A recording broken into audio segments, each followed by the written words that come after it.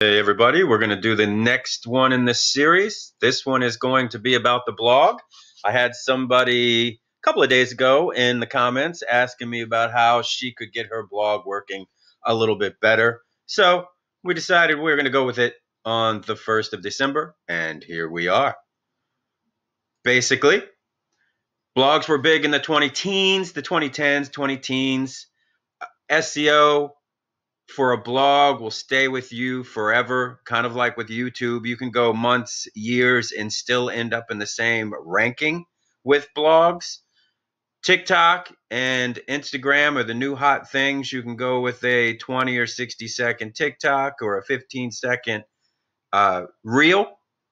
But unfortunately, with those, depending on how consistent that you are, you could, in the same week, not have the same content showing and especially a month later, they're all the way down at the bottom of your feed.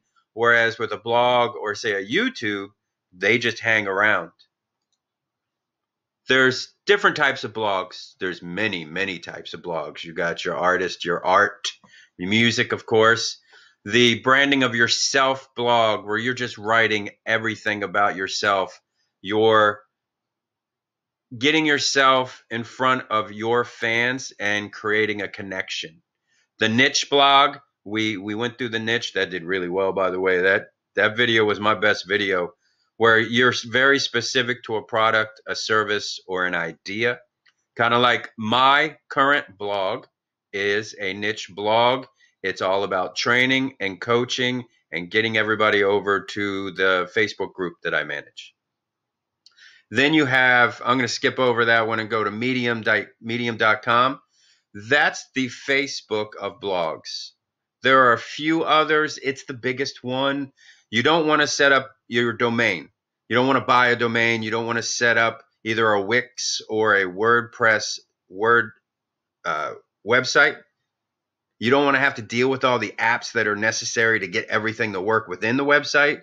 So with a medium.com, you just sign up you can pay five bucks a month and just start writing to your heart's content.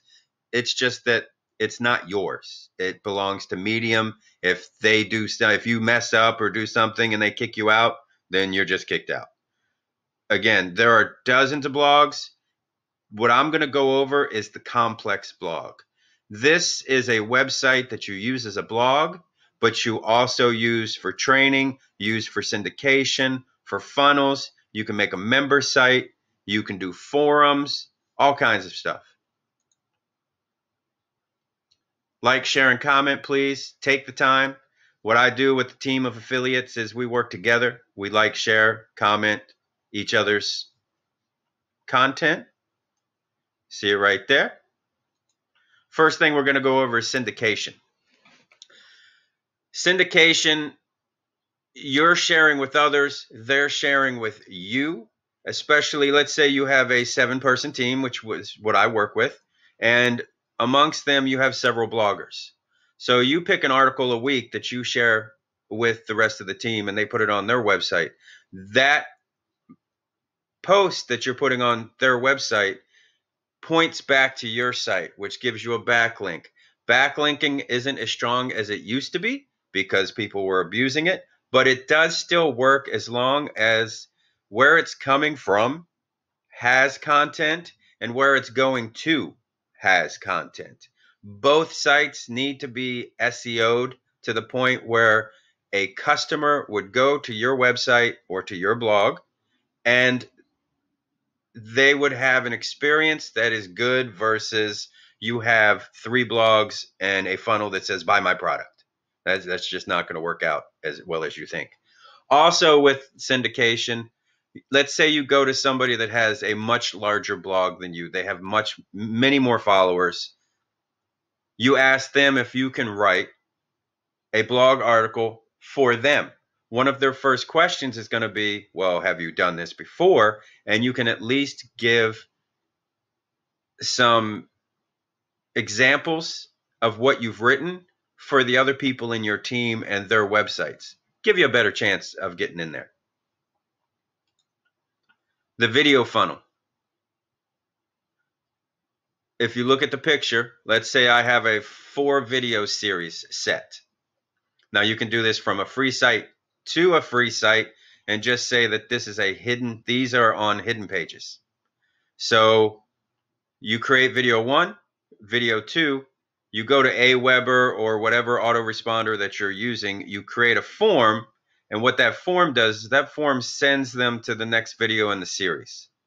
So they fill in their first, they fill in their name and their email, and it sends them to either the hidden page or the membership page. We'll get to membership pages in a second. And they move along. You have an app called Social Warfare. It's the app that I used. And what you can do is you can take your Facebook and Twitter and Blogger and all the different sharing icons that you have for your video. And if somebody was to share it, it would bring the new person into video number one. You can clone these from video number one and clone them into video two, clone them into video three, clone them into video four, etc., etc., etc. What you don't want is somebody sharing video three and having the person come in to video number three. You want to clone these so that when they share video three, it's been cloned, so it's going to come back in at the beginning of the vlog funnel. PLR requires that you have a membership site if you use, say, a video series for them. So, let, for example, most of them will say minimum of $7 for a membership site. You could bundle it in with other things, but if you're going to use it on your website, it can't be on the free side. So, you build a video or two videos that then squeeze into the membership side with the other five, six, seven, eight, nine videos, however many videos that they have in the PLR. Not going to go over. I think everybody, once you start looking in the PLR, you'll find out that there's 10% of these that you could actually use on your membership site. This is a pretty good way to get email and names, especially if, let's say, it's free site to free site and that this video is just on a page that you have hidden and renamed. Same with this one. This is where we get into the hidden pages. Let's say you have multiple products because you didn't watch the other video I put out that said if you're a beginner, don't have multiple products. What multiple products on hidden pages will do is it will save you additional hosting, additional domains, etc., etc. But what you have to do is you'll create a page for that product. The page can't just be, say, uh, affiliate mastermind.online slash clickfunnel slash uh, SEM rush or slash traffic secrets because people are just going to guess those uh, as you're going through it, especially if there are several pages. So you put in the name, put a bunch of one, two, three, four, five, six, seven, eights after after it, and now you have one website that has multiple products on it and saved you a good amount of domain registration money, website money, app money. You don't have to worry about uh, Google when you do your analytics going to multiple sites. You can still use your analytics on the same site and see everybody that's coming in in one in one spot. The last one I'm going to go over is forums. Forums are better used for a site that already has traffic. Let's say that you've brought in quite a few people and you've decided with all of those people, you can just use an app within WordPress or an app within Wix, create a forum. It you do it in one day.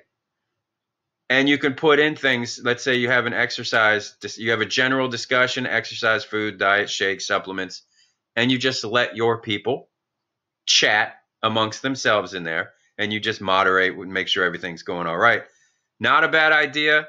Still 2006 to 2009 idea, but forums are still used. They're still big.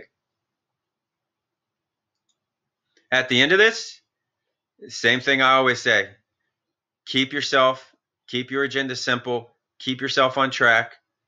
I have my blog at the top. I replace this with say Facebook for those that want don't want to do a blog because they're crazy.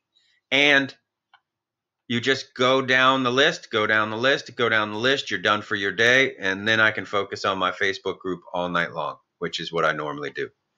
I still got a bunch of these in the queue. Do me a favor, give me a subscribe. I'll put out another 25 or so of these. And if you're interested, don't forget, I put teams of affiliates together so that they can help and support each other up to 40 plus at this point. It is six times bigger than I thought it would be at this time. Super grateful. Would love for you to come join us. Thank you.